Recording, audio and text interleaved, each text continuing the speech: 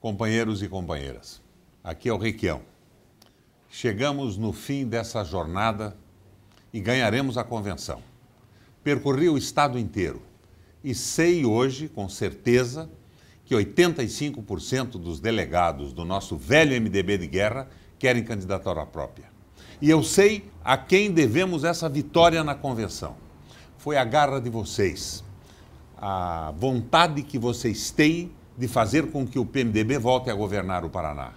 Com os nossos programas, com a nossa garra, com o nosso interesse pela população, principalmente a população mais pobre, com o apoio que demos ao interior e às empresas que iam para o interior fazer os seus investimentos.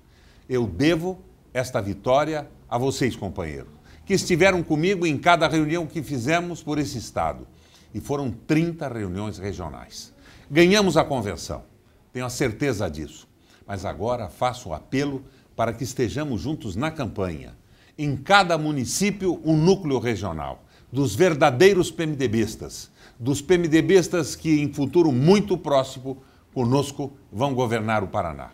Estou extremamente grato, mas vocês mostraram para mim e para todo o Estado que o nosso PMDB velho de guerra está vivo que nós temos garra, temos força e mantemos o ideal.